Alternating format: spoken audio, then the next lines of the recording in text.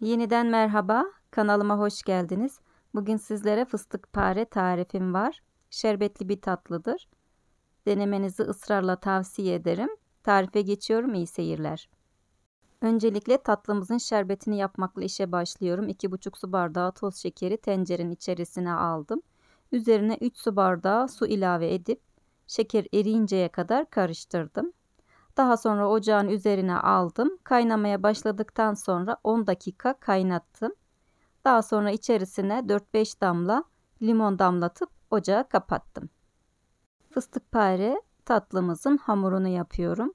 Geniş bir kabın içerisine 125 gram margarin ya da tereyağını alalım. Oda sıcaklığında olmasına dikkat edelim. 1 çay bardağı sıvı yağ, yarım çay bardağı irmik, 1 tane yumurta, 2 tepeleme yemek kaşığı toz şeker, 1 paket vanilya, yarım paket kabartma tozunu ilave ettim. Daha sonra kaşıkla hepsini ezdim. Dilerseniz elinizle de yapabilirsiniz.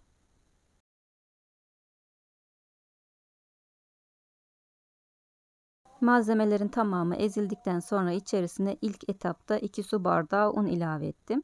Un ekleme miktarınız yumurtanın büyüklüğüne küçüklüğüne göre değişebilir. Bazen unun kalitesine göre bile değişebiliyor. Yarım su bardağı daha un ilavesi yaptım. Böyle biraz yumuşak bir hamur oldu. Şimdi içerisine yeniden fıstık e, ekleyeceğimiz için o hamuru toparlayacaktır. Bir çay bardağı çekilmiş antep fıstığı ilave ettim. Şimdi güzelce onu yoğuruyorum. Hamurumun kıvamı da tam oldu. Fıstık tamamen hamura karışıncaya kadar güzelce yoğurdum. Şimdi birazdan şekil vermeye başlıyorum. Cevizden büyük bezeler alıp fırın tepsisinin içerisine belli aralıklarla diziyorum.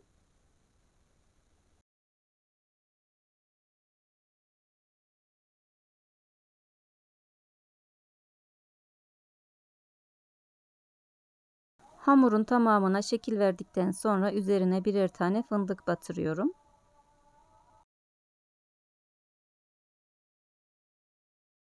Fıstık pare fırına gitmeye hazır. Önceden ısıtmış olduğum 170 derecelik alt üst fanlı ayarda tam 20 dakika pişirdim. Her fırının pişirme süreci farklıdır. Kontrollü pişirirseniz hiçbir sıkıntı yaşamazsınız. Gördüğünüz gibi fırından çıktı.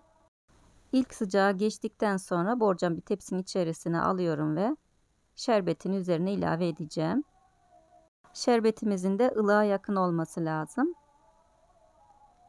bir kepçe yardımıyla fıstık parelerin üzerine şerbetini ilave ediyorum.